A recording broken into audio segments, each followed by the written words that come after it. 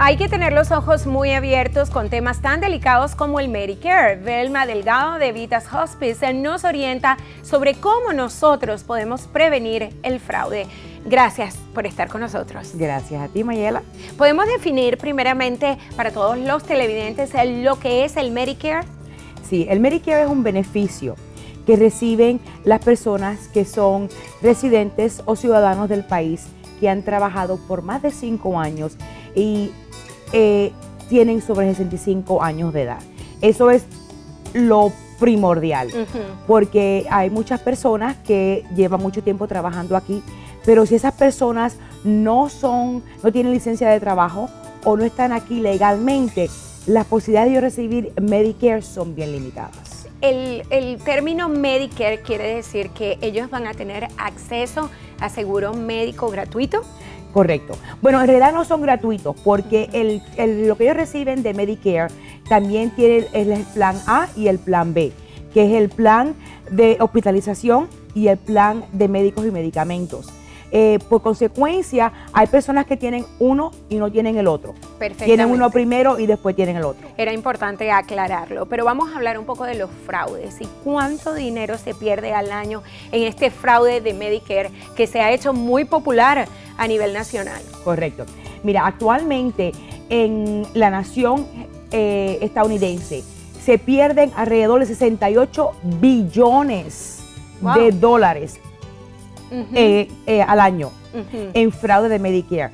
En el estado de la Florida es sobre cientos de miles de dólares que se pierden. ¿Cuáles son las consecuencias de esta pérdida de dinero? Mira, lo más importante es una cuando hay tanta tanto problema con el fraude de Medicare, ¿qué es lo que pasa? Número uno, las personas le van a aumentar lo que llaman ellos el copay, que es lo que tienen que pagar a los doctores cuando van o cuando se hospitalizan.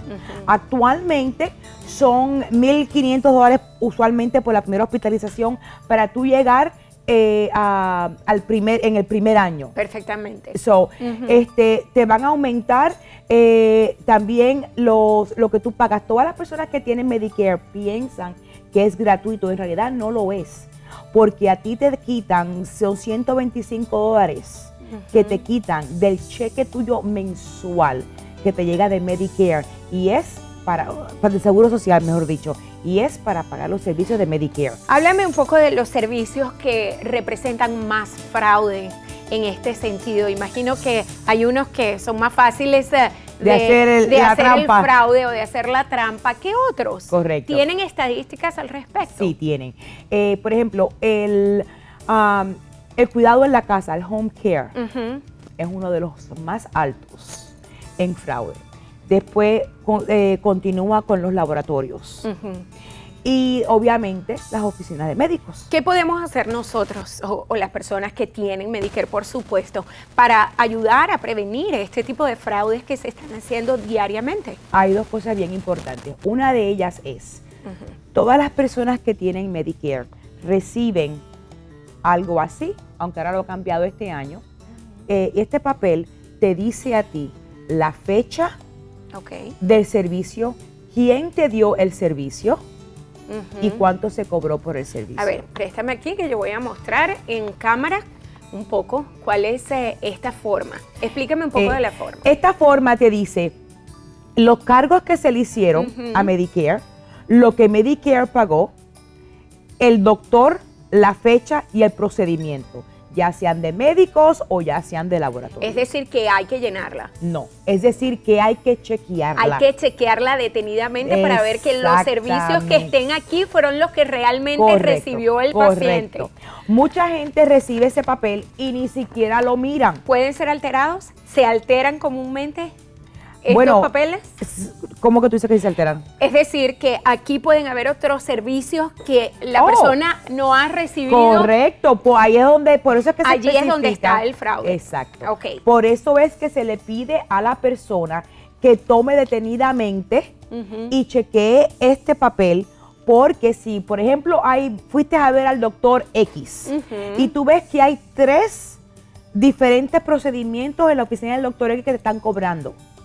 Y solamente se hicieron dos, O se hizo uno. Entonces, lo primero que tienen que hacer es llamar a la oficina del médico y pedir que se le aclare el por qué o cuáles son esos otros. No siempre se hacen a propósito, muchas veces son eh, errores del departamento de billing y ponen cosas o ponen los códigos que no son y por eso pasa. Yo ahora voy a mostrar otra forma que tú nos has traído, Belma, y vamos a ver si se puede ver específicamente en pantalla. Y esto tiene aquí algunos puntos eh, importantes que quiero que por favor le expliques a nuestros televidentes también. Es como un control, ¿no? Exacto. Eso es un panfleto que reciben, yo doy muchas charlas a las iglesias y a los community centers. Y si alguien está interesado en tener más información, este, que por favor me llame, en mi número oficial lo van a poner eh, en un ratito, y yo voy y les explico y les traigo un packet en el cual incluye mucha información que ellos tienen que tener, incluso eh, este tipo de, eh, de booklet o de librito en el cual uno va a poner la fecha, el médico proveedor. el médico que donde fuiste, qué te hicieron, porque cuando uno recibe esto, este el, papel que enseñamos anteriormente, llega a veces un mes o, un poquito más, dependiendo cuando el, doctor mande el bill para Medicare. ¿Y qué pasa? Muchos de nosotros no nos acordamos a quién vimos, especialmente las personas de alta edad, que ven dos y tres médicos al mes. Es decir, que hay que apuntar todos eh, los récords de las visitas, de los médicos que se hacen y también de los procedimientos. Y si ustedes no lo pueden hacer, pues busquen a, su, a sus familiares que lo puedan ayudar a llevar este récord. Antes de irnos a la pausa, quiero eh, que vean en pantalla algunos eh, de los tips que Belma Delgado nos ha traído para poder entonces protegerse contra el fraude de Medicare. Cuéntanos un poco. Mira, lo más importante que tienen que saber es su tarjeta de seguro social. Muchas personas andan con esa tarjeta en su, en su cartera constantemente. No hay necesidad de eso. Al ellos, si alguien te roba esa tarjeta, pueden utilizarla para hacer un fraude, que eso es lo que más pasa. Una persona que, que no es la que es, recibe los beneficios sin, ser, sin tenerlo. Así que esa tarjeta de Medicare con la tarjeta de seguro social que usualmente es el mismo número. Así, que a menos que no sea una viuda, pero eso es otra formación aparte.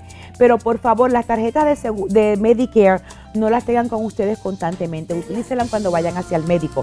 Medicare no llama a nadie. Si reciben llamadas telefónicas diciendo, so, es la persona fulana de tal, de Medicare, por favor asegúrense que no le den ningún tipo de información por teléfono porque Medicare como el IRS no llama a nadie. Perfectamente, gracias Belma por haber estado con nosotros. Y allí en pantalla veían algunas de las cosas que ustedes tienen que hacer, perdón, para poder entonces evitar un fraude de Medicare o que su familiar sea engañado con este tipo de, fraudes que definitivamente son un engaño y tienen tremendo negocio donde se pierden billones de dólares al año aquí en los Estados Unidos. Recuerde que esta entrevista estará disponible por medio de nuestro sitio en la red. Visite ahora mismo de latinos.tv que siempre tiene recursos de interés para todos. Así que vamos a conocer qué tenemos en el calendario comunitario inmediatamente.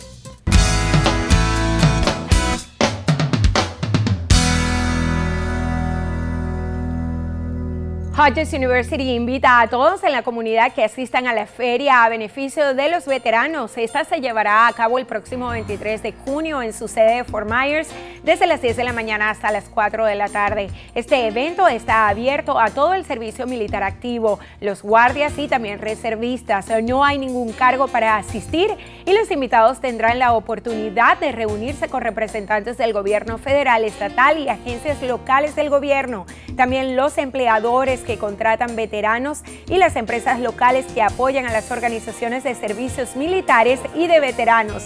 Hodges también desea llegar a la comunidad empresarial local para obtener ayuda en el suministro de información, servicios y oportunidades de carrera a los veteranos de nuestra comunidad. Así que ya saben, si usted desea participar en este evento, debe llamar a Lee Smith, director de servicios de veteranos, al 239 938-7833. Allí tienen el teléfono en pantalla. Y nosotros eh, cuando regresemos aquí a De Latinos al Día nos vamos... Eh, de viaje por el mundo. ¿Te vas con nosotros? Definitivamente. Así es, y, y, le decimos cómo usted puede hacerlo en compañía de todos y sin salir de casa. Y vuelven los rumores de embarazo de Shakira y esa oportunidad por algo que dijo la cantante y también Juan Gabriel no sale de una para meterse en otra. Le contamos qué está pasando y los de Latinitos mostraron todo su talento ante nuestras cámaras, así que conozca los futuros conductores eh, de televisión que estarán con todos ustedes la próxima semana. Gracias, Velma, por haber estado con nosotros.